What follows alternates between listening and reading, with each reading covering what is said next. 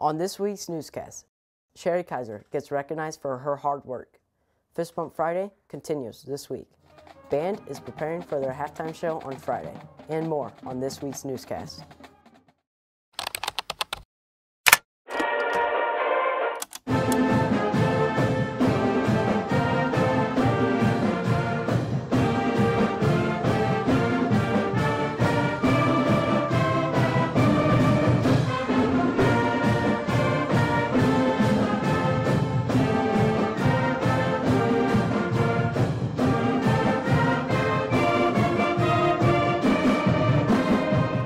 Back to MHS TV. I'm Daniel. And I'm Mackenzie. This is your news for Friday, September 8th, 2023.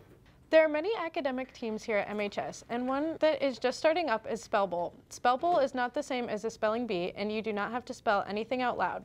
This Friday is a home game and the band will be performing. The show is about the Foo Fighters and this week they add a new song to the show.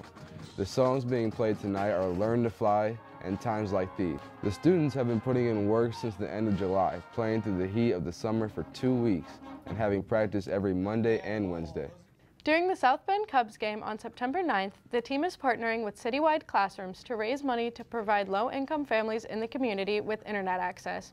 For each ticket the game sells, $3 will go towards the Citywide Classroom. Fist Bump Friday traveled to Hums last week. This fun activity allows high school students to interact with the elementary students and staff each Friday. Today, they traveled to Twin Branch. The MHS Assistant Athletic Director, Sherry Kaiser, was recognized by the National Interscholastic Athletic Administrators Association as a Certified Master Athletic Administrator. Congratulations to Ms. Kaiser and thank you for all your hard work. Congratulations to MHS students Amaya De Armand and Annalena Berstein for earning academic honors through the College Board National Recognition Programs. These programs honor hardworking students who are from rural area or black, indigenous, or Latino. A fundraiser called Beef Bash will be held on September 30th at Ironworks Plaza. All money from this fundraiser will go to helping fund the construction of a caveman statue for MHS. Only those who are 21 and older can attend this event. 12, Brady Fisher, Caveman, touchdown. The MHS boys soccer team played Warsaw on Tuesday night. It was hot and humid that night and the Warsaw team played well, ultimately defeating the Cavemen. Last Thursday, the MHS girls soccer team traveled to Jimtown. The team tried their best but ended up falling 4 to 0. Next Tuesday, the team will play their second conference game at Wellfield against Northwood. Come out to support the team. The Cavemen cross country teams did not compete last weekend, but this Saturday they will race at Oxbow Park for the Minutemen Classic. On Tuesday, they will compete in their second NLC meet of the season at Warsaw. If you are attending tonight's football game, be aware of the following guidelines. There is no outside food or drink, no large bags. High school and middle school students must show their ID, and elementary school students must be accompanied by an adult.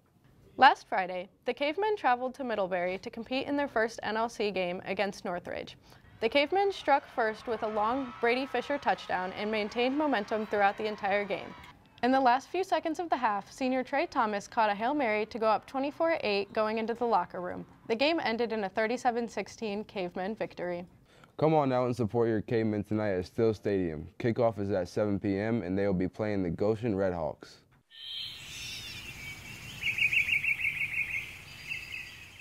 The Notre Dame band marched out at their first home game last Saturday. Two former Mishawaka students, Hunter Flick, now a sophomore at Notre Dame, and Abrielle Flick, a freshman at Notre Dame, are now in the Notre Dame band. Congrats and good luck. Fall is returning, so here are some local activities you and your family can participate in.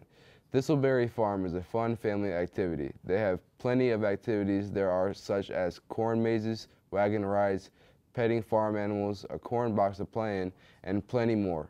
They are open September 9th.